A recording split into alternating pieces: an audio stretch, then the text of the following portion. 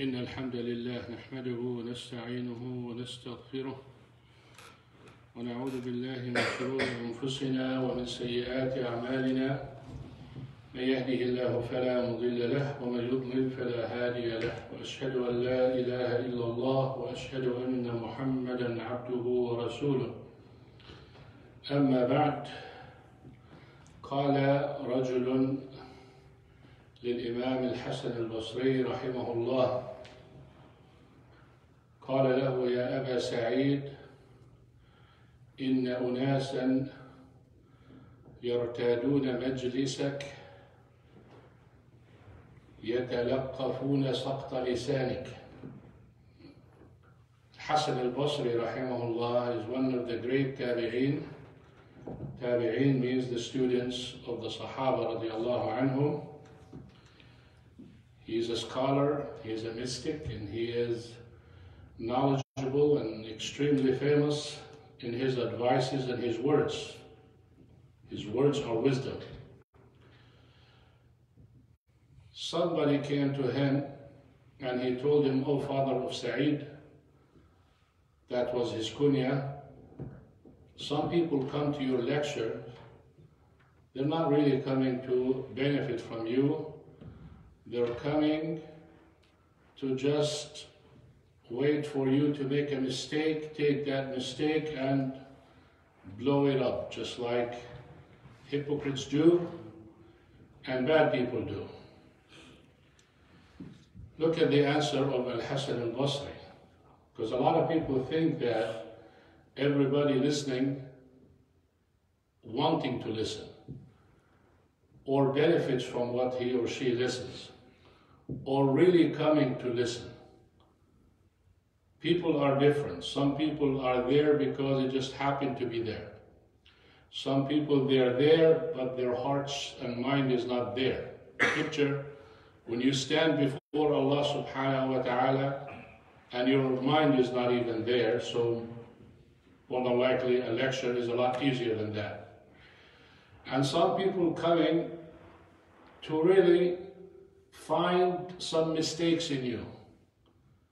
And there's so many of them. Some of them, they do it to blow themselves up, or some they do it to attack you with it. يعني الناس اللي بينتظروا في سقطات الكلام أو اللسان على جزئين ناس مشكلجية بدهم يعملوا مشاكل فبينتظروا الخطأ منك الناس بس بدهم يورجوا شطارتهم إنهم هم فهمانين وأنت أقل طبعا الإنسان لا يعرف ولا يعرف إلا عندما يتكلم فقد قيل تكلم حتى اعرفك يعني إذا الإنسان ساكت طول الوقت كيف بدك تعرف مين هو؟ شو هو؟ When a person is silent all the time, you're not going to know who is in front of you.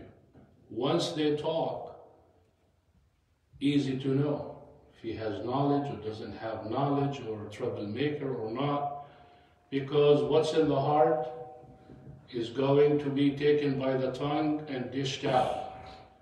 فاللسان مغرفة للقلب. What's in your heart comes out eventually, sooner or later. You cannot hide it all the time. So الحسن البصري رضي الله عنه قال للرجل يا هذا إني أطمعت نفسي بجوار الله فطمعت He told him, brother, I presented to myself to be close to Allah subhanahu wa ta'ala, meaning to be obedient to Allah subhanahu wa ta'ala, to connect with Allah subhanahu wa ta'ala, and to be good. And myself accepted it. And the reason is because a person who knows Allah subhanahu wa ta'ala يعلم أن الله سبحانه وتعالى شكور شو يعني شكور؟ يعني يجازي على القليل بالكثير شكور يعني he rewards with little actions a huge thing يعني all of our ibadat put it together what do you think you're doing a fraction of your life what are you getting for that جنة عرضها السماوات والأرض فيها ما تشتهيه الأنفس وتلذ الأعين Jannah for this little work. That means Allah subhanahu wa ta'ala is very, very appreciative. وأطمعت نفسي يعني أول شيء subhanahu wa ta'ala His self took it. I'll be with Allah subhanahu wa ta'ala. He promises and He delivers and He is very grateful and He is and He is. So this is sealed. Myself accepted it. وأطمعت نفسي في الحور العين في الجنة فطمع and I presented the reward in Jannah حور عين talking to himself you want to get the حور العين you need to do such and such myself said yes sir I will do it this is a good offer no human being, a person, a male in the right mind with good fitra refuse an offer like that. And everyone looks forward to it. قال وإني أطمعت نفسي في رضا الناس أو في أن يرضوا عني الناس فلم ترضى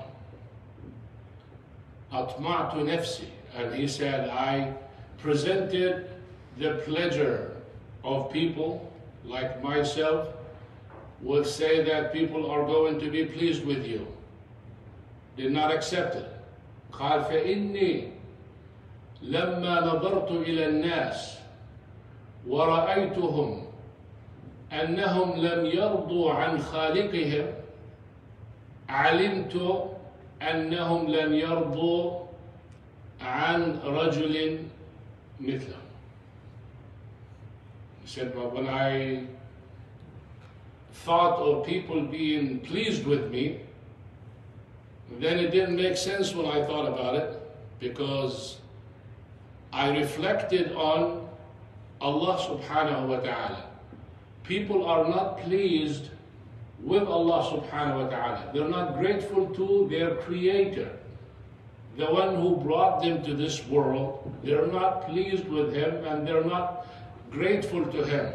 So are they going to be pleased from Al-Hasan al-Basri, who is a person similar to them, just like them? It's impossible.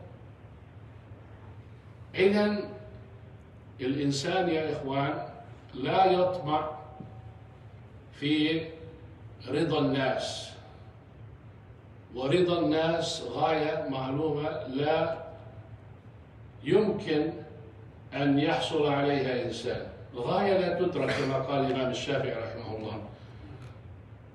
Pleasing people is a goal that you will never accomplish like Imam الشافعي said. إذا الإنسان يسعى لرضا الله سبحانه وتعالى. وهذا أنت تعمل لله لا تعمل ليقولوا عمل أو ليقولوا قارئ أو ليقولوا كريم أو ليقولوا جواد أو شجاع أو ما إلى ذلك. You don't do so people can reflect upon you and say, MashaAllah, he is generous, MashaAllah, is courageous, listen to his voice, listen to his lecture. No.